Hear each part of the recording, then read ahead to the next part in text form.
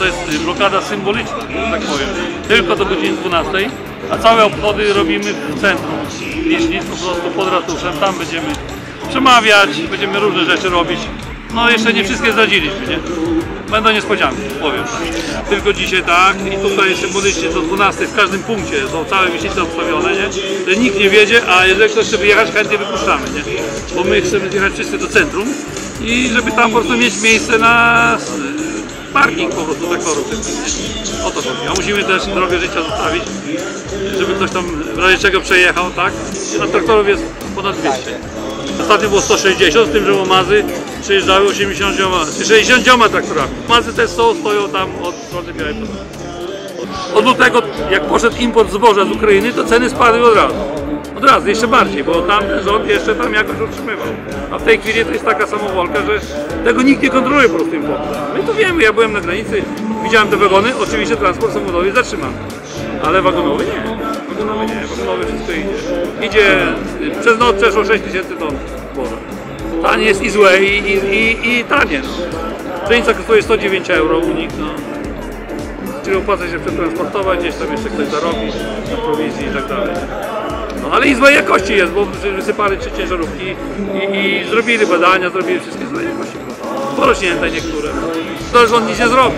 Nie, nie ma takiej mocy sprawczej, że tak powiem. Nie ma mocy. Unia Europejska raczej też nic nie zrobi, bo to jest połączenie wszystko. Oligarchowie, eurokraci są połączeni, i tu naprawdę trzeba, tylko my rolnicy możemy zatrzymać granicę. My rolnicy możemy. Rząd nic nie może, naprawdę, nie ma mocy sprawczej. Oni chcą, są za nami i tylko tyle. Tylko, że są za nami. Nic więcej.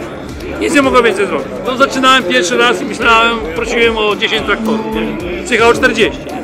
No, i drugi raz to już wszystko po, poszło samo. Że tu coś organizujemy. A teraz to organizujemy troszkę w innej formie, bo tam i będzie jedzenie, żeby każdy coś tam zjadł. nie? Już tak troszeczkę lepiej to organizujemy. Bo nam nie chodzi o blokowanie. Blokowanie to jest na granicy, zatrzymywanie, żeby te zboże nie wjeżdżało. O to chodzi. Ewentualnie terminale blokowanie. To wszystko o to ten, a tutaj to, to tylko symbolika, mówię, symbolika. Symbolicznie pokazać się, że mamy siłę, może ten rząd rzeczywiście się ugnie, ale on nie ma mocy sprawczej. To proszę przekazać dla ministra, że on nie ma mocy sprawczej. Po prostu on nie da rady. A urząd celny to jeszcze jest inna historia, to jest państwo w państwie, to jeszcze inna historia. Także tutaj, tutaj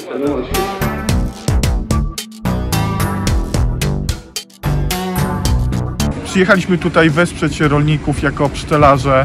Y, Jestem też koordynatorem y, Związku Pszczelarzy w proteście y, tutaj w Wisznicach.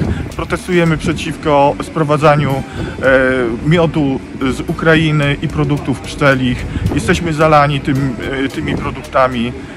Musimy razem łączyć siły, razem działać przeciwko tej sytuacji, która teraz nas spotyka.